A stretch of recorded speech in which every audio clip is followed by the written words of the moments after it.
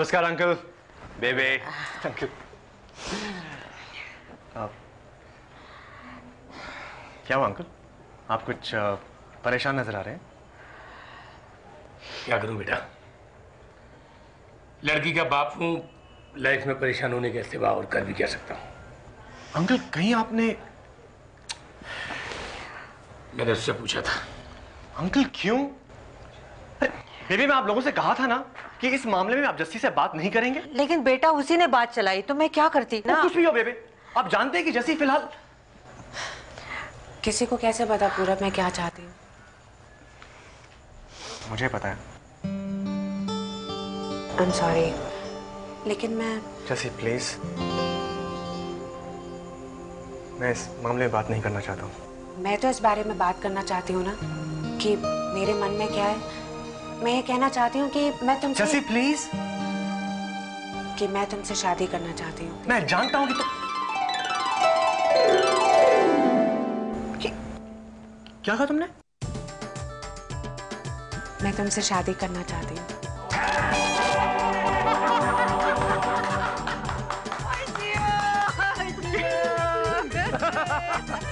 Congratulations. Congratulations.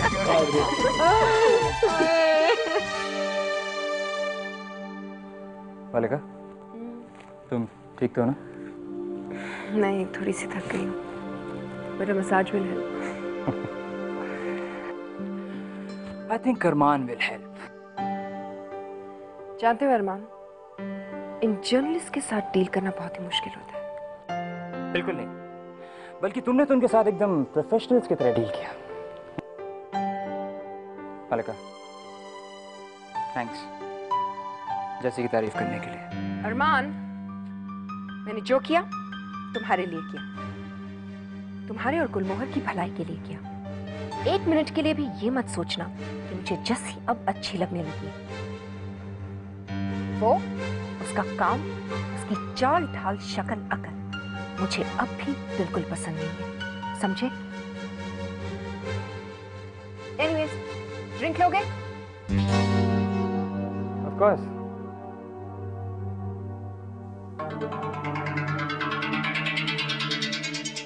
मैं कहा चाहता हूँ कि तुम जस्सी को पसंद करो मलिका अब सीईओ जस्सी की कहानी का लास्ट चैप्टर हम साथ में लिखेंगे।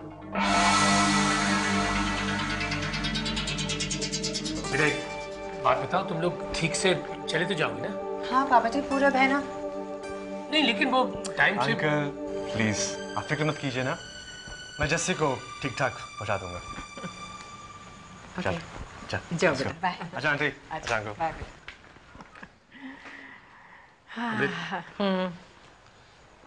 वैसे ये सब मुझे ठीक नहीं लग रहा है। अरे शादी होने वाली है उनकी। क्या ठीक नहीं लग रहा है? इस तरह से अकेले जाना ठीक नहीं लग रहा है। ओहो कोई पहली बार थोड़ी जा रहे हैं। पहले भी तो कई बार गए हैं। लेकिन इस तरह से तो पहली बार जा रहे हैं ना। तो क्या करें? पूरी बारात लेके जाएँ? अरे नई बारात को लेकर के जाए साथ में बाप तो जा सकता है ना। आप अपनी भूल गए जब हमारी सगाई हुई थी जब हम पहली बार घूमने गए थे। वो कैसे भूलूँगा? अम्मा बुआ और वो साला गुरमीत वो तो बिल्कुल इसीलिए हम एक दूसरे से बात करना तो दूर एक दूसरे को देख भी नहीं पाए थे। हमने तेरे को मालूम है रात को मैंने गुरमीत को ऐसा मारा सेट कर दिया सेट इसीलिए तो मैं कह रही हूँ जाने दीजिए ना बेचारों को प्यार की दो बातें तो कर पाएँगे। तू देखना ये शादी के बाद भी दोनों के दोनों कॉन्ट्रैक्ट और बिज़नेस की बातें करते रहेंगे। बस। इस पार्टनरशिप में काफ़ी दम है। हाँ दोनों पार्टनर्स के लिए प्रॉफिट की अपॉर्चुनिटी है। हाँ और फिर डिनर के साथ हम बिज़नेस की बातें भी कर सकते हैं।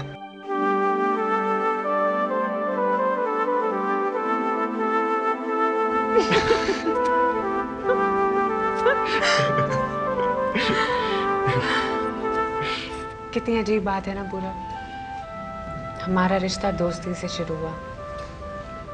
फिर बिज़नेस तक पहुँच गया।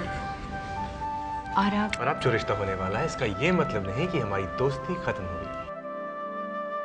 इसलिए मैं जो तुमसे सवाल पूछने वाला हूँ उसका जवाब एक सच्चे दोस्त की तरह देना। जैसे तुमने हाँ किसी दबाव में तो नहीं किया?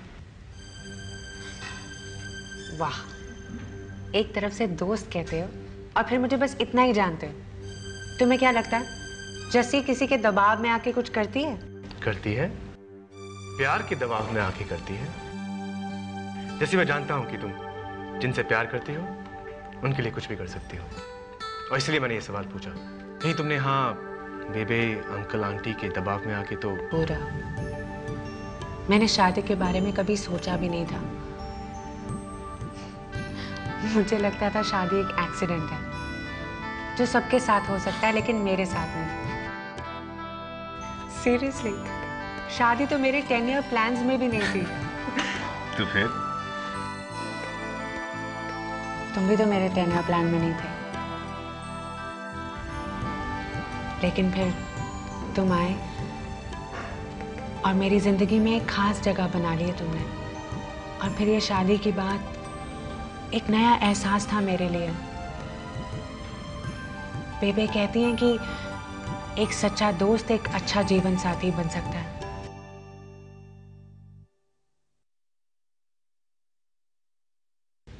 एक बात पूछनी थी पूरा। पूछो।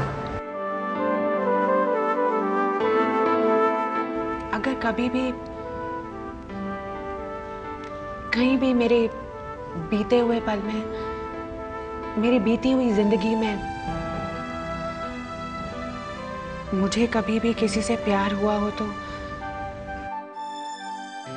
तो तो मैं कोई हे।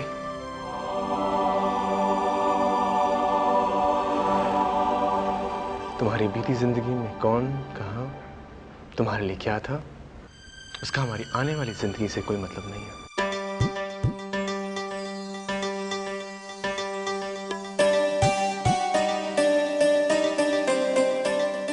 एक बात कहूँ?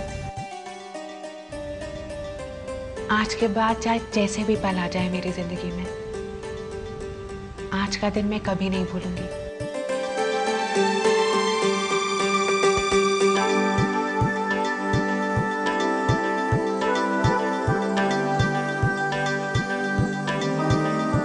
आने वाला पल, जाने वाला हो सके तो इसमें ज़िंदगी बिता दो। पल जो ये जाने वाला है। वाह वाह वाह वाह। आज तो मधुर संगीत ऑफ़िस में गूंज रहा है। क्या बात है? मलिका मान गई क्या? Yes yes. क्या बात कर रहा है? तो फिर शादी की डेट कब है? शादी? अरे यार शादी की बात कौन कर रहा है? मुझे लगा मलिका को पटाने का एक ही तरीका है। तूने शादी की डेट निकलवा ली होगी। तू पागल हो गया क्या? अरे जस्सी जब तक सीईओ है ना तब तक मैं शादी का शव भी नहीं सोच सकता। बस जस्सी एक बार इस पोस्ट से हट जाए। यहाँ से बाहर हो जाए उसके बाद। लेकिन तेरे इस जस्सी हटाओ आंदोलन में मलिका तो मलिका मलिका मेरे साथ है। मेरा साथ ही एक बार यहाँ से जस्सी की एग्जिट हो जाए वहाँ से सीधे बारात की एंट्री हो। और मल्लिका इस बात के लिए मान गई मान जाएगी। अब जहाँ उसने इतना इंतज़ार किया है। थोड़ा और सही। इंतज़ार बिल्कुल नहीं कर सकते हम लोग। हम अपने टारगेट के बहुत पास पहुँच चुके हैं। तू फ़िक्र मत कर जैसे टारगेट हम यूँ हासिल करके रहेंगे। हम्म लेकिन टुमारो कलेक्शन टाइम पे होना चाहिए। और अगर टाइम पे नहीं हुआ तो अरे कोई डिले नहीं होगा जस्सी हम्म तो वीरू टाइम स्केड्यूल तुम बनाओगे okay designing production presentation meetings ये सब टाइम स्केड्यूल के हिसाब से जाना चाहिए ओके ओके और रूबी मॉन हाँ हाँ पता है मुझे। मुझे ये सारा प्रोडक्शन सुपरवाइज करने का है है ना? राइट नाजनी तुम और मैथी मिलकर क्वालिटी चेक करना। ओहो तब तो मल्लिका और अरमान को बाहर निकालना पड़ेगा। ठीक है ठीक है। हमारे पास हंसने का भी टाइम नहीं है। वीरू बिंदिया से कह देना कि पैकेजिंग वो संभालेगी। हाँ हाँ। यस बॉस बस बॉस वो क्या है जैसे बॉस नहीं बोलते हैं? तो तेरा ऑर्डर मानने को मन नहीं करता है? बॉस में ऐसा थोड़ा रॉब होता है है ना? अब चलो चलो टाइम वेस्ट मत करो। ओ, एक मिनट लंच ब्रेक में तुमसे मुझे कॉन्फ्रेंस रूम में मिल लेना क्यों? वो अ, मैं तुम लोगों को कुछ बताना चाहती हूँ। ओके ओके वहीं मिलेंगे। बाय अमृत? अमृत जरा ये लगा के देख।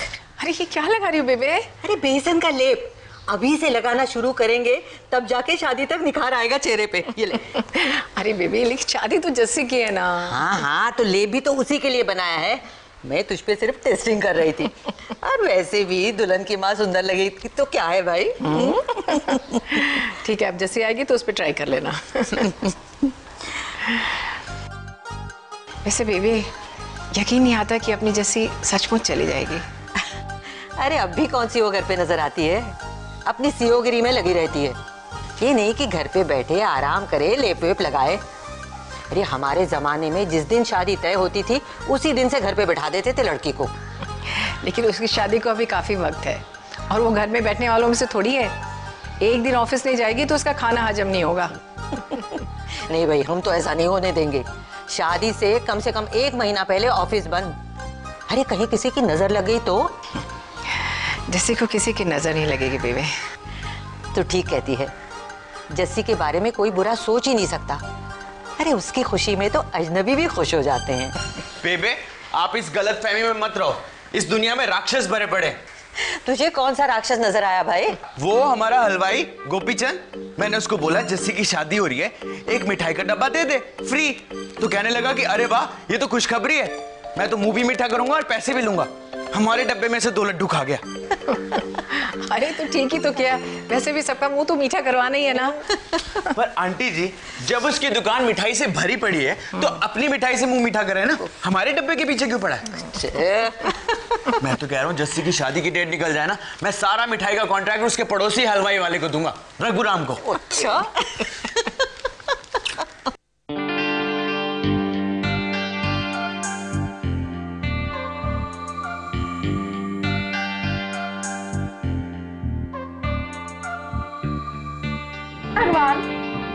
बिज़ी हो। मुझे ना तुमसे एक बहुत ही ज़रूरी बहुत ही पर्सनल बात करनी थी। पूछो। देखो तुम्हारी जगह अगर कोई और होता ना तो मैं कभी नहीं पूछती।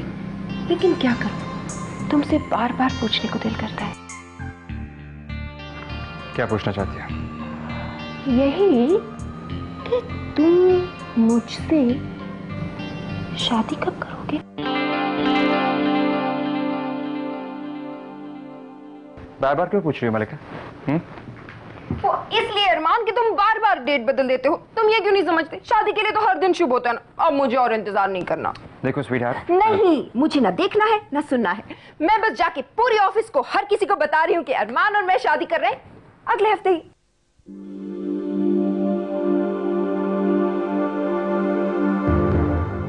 मलिका स्वीट हार्ट मैं तुमसे शादी नहीं कर सकता।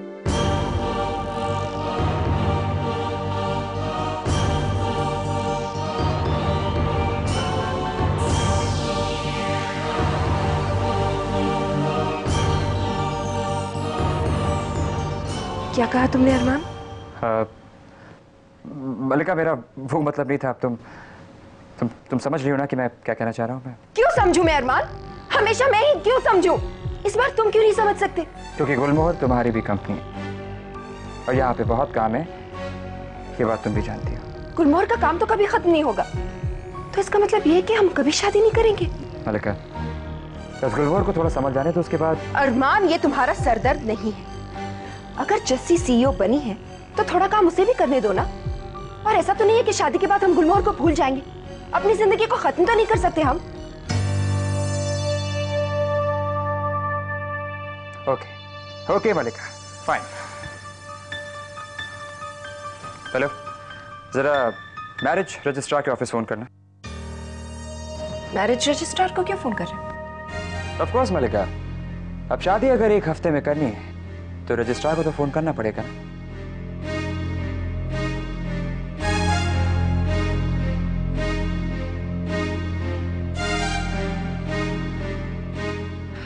तो क्या हुआ?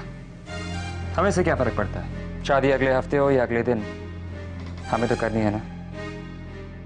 बस इतना ज़रूर है कि बहुत बड़े लेवल की शादी नहीं हो पाएगी, क्योंकि उसमें वक्त लगता है। सारी तैयारियाँ, तुम्हारी शॉपिंग, उसमें बहुत टाइम जाएगा। बस इतना ज़रूर है कि हम लोग कोर्ट जा सकते हैं, जहाँ पे मॉम, डैड और आज मेरी तरफ़ से और आर्यन तुम्हारी तरफ़ से रहेगा। बोलो, कैसा लगा आइडिया? ठीक है हम शादी अभी नहीं करेंगे। जब तक गुलमोहर के प्रॉब्लम सॉर्ट आउट नहीं हो जाते हम शादी तब तक नहीं करेंगे। लेकिन उसके बाद मैं एक दिन और ज़्यादा इंतज़ार नहीं कर सकती अरमान। मलिका मलिका इंतज़ार मैं भी नहीं करना चाहता हूँ ट्रस्ट मी मैं अभी आता okay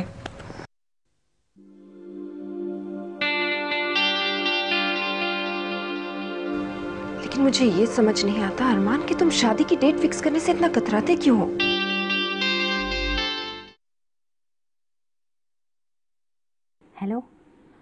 Hello hello checking hello checking checking hello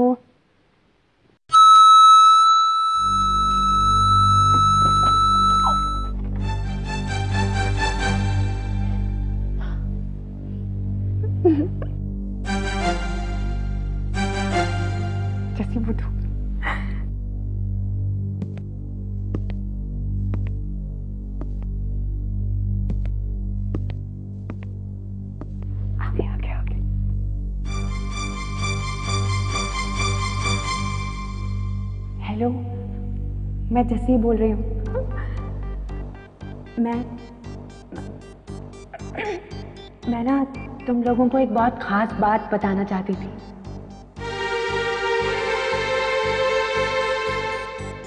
इसलिए मैंने तुम सबको यहाँ बुलाया। एक्चुअली बात यह है कि कि बात बहुत खास है। मैं शादी कर।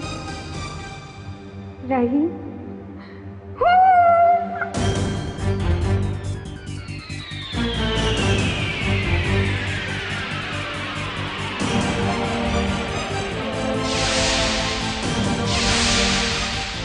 तुम लोग भी ना ने हमें कॉन्फ्रेंस रूम में बुलाया है। भूल गए तुम लोग। तो कितनी देरी हो गई। तो फिर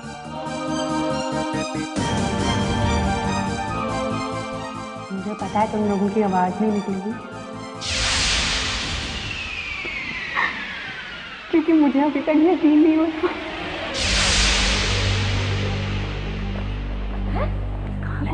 तो कोई भी नहीं है चलिए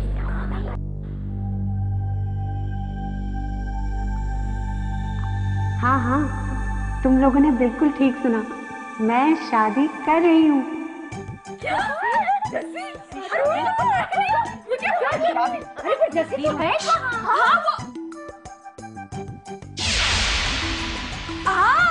जैसी तू है कहाँ तू ऐसे चुप क्यों बता रही है बोलना अरे हमें भी तो पता चले कि तू है कहाँ बताती हूँ बताती हूँ।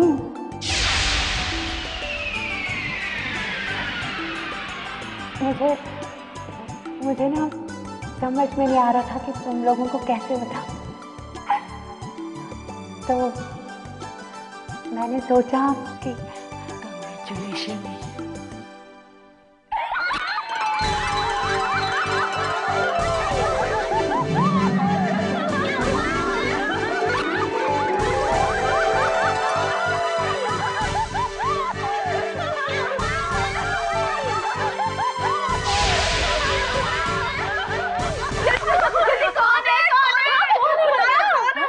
गैस करो। मुझे सब मालूम है। उसका नाम है अच्छा।